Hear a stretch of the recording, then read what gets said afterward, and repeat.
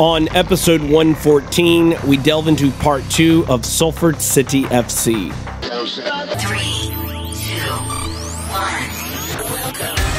Welcome to Soccer Works with Daniel Workman, where we take a look at how soccer works in the U.S. and around the world. This is part two of a series of episodes on Salford City FC. Salford City FC is a club, an independent club located just outside of Manchester, England. It is owned by five members of the class of 92 from Manchester United, as well as their business partner. Those five guys are Gary Neville, Phil Neville, Paul Scholes, Ryan Giggs, and Nicky Butt.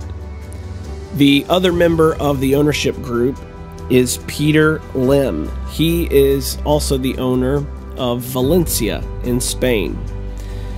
These guys run the club. The, the five guys are running the day to day operations of the club, and they have some very lofty uh, goals. And uh, they currently play at the fifth level of the English Pyramid in the National League and they are only four promotions away from the top league in England, the Premier League.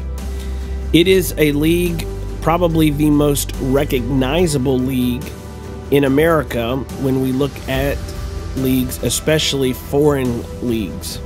And their goal is to get there. And so, over the next few episodes, we are going to dive into what they're doing to get them there. Thanks for listening. Until next time.